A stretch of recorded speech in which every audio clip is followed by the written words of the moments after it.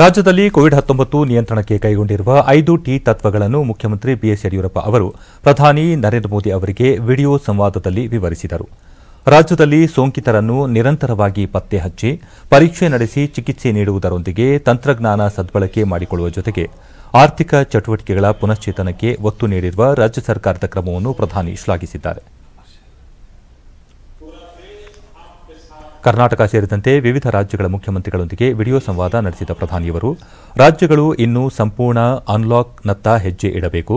ನಿರ್ಬಂಧಗಳು ಕಡಿಮೆಯಾಗಿ ಚಟುವಟಿಕೆಗಳು ಚುರುಕಾಗಬೇಕು.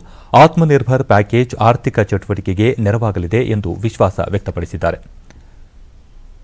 ಇದೇ ವೇಳೆ ಮುಖ್ಯಮಂತ್ರಿ ಬಿಎಸ್ ಯಡಿಯೂರಪ್ಪ, ರಾಜ್ಯದಲ್ಲಿ ಆರುನೂರ ಎಪ್ಪತ್ಮೂರು ಫೀವರ್ ಕ್ಲಿನಿಕ್ಗಳನ್ನು ಸ್ಥಾಪಿಸುವ ಮೂಲಕ ಆಸ್ಪತ್ರೆಗಳು ಸೋಂಕು ಹರಡುವ ತಾಣವಾಗದಂತೆ ಮುನ್ನೆಚ್ಚರಿಕೆ ವಹಿಸಲಾಗಿದೆ ಎಂದು ಮಾಹಿತಿ ನೀಡಿದರು. ರಾಜ್ಯದಲ್ಲಿ ಕೋವಿಡ್ ಹತ್ತೊಂಬತ್ತು ಸೋಂಕು ಪರೀಕ್ಷೆ ನಡೆಸುವ ಪ್ರಯೋಗಾಲಯಗಳ ಸಂಖ್ಯೆಯನ್ನು ಎಪ್ಪತ್ತೆರಡಕ್ಕೆ ಹೆಚ್ಚಿಸಲಾಗಿದ್ದು, ಪರೀಕ್ಷಾ ಸಾಮರ್ಥ್ಯ ಪ್ರತಿದಿನಕ್ಕೆ ಹದಿನೈದು ಸಾವಿರದಷ್ಟಿದೆ. ಪ್ರತಿ ದಶಲಕ್ಷ ಜನಸಂಖ್ಯೆಗೆ ರಾಜ್ಯದಲ್ಲಿ ಏಳೂವರೆ ಸಾವಿರ ಪರೀಕ್ಷೆ ನಡೆಸಲಾಗುತ್ತಿದ್ದು, ಶೇಕಡಾ ಒಂದು ಪಾಯಿಂಟ್ ಆರರಷ್ಟು ಪಾಸಿಟಿವ್ ಪ್ರಕರಣಗಳು ವರದಿಯಾಗಿವೆ. ದೈನಂದಿನ ಬೆಳವಣಿಗೆ ದರ ಶೇಕಡಾ ಮೂರು ಪಾಯಿಂಟ್ ಆರರಷ್ಟಿದೆ ಎಂದು ಮಾಹಿತಿ ನೀಡಿದ್ದಾರೆ.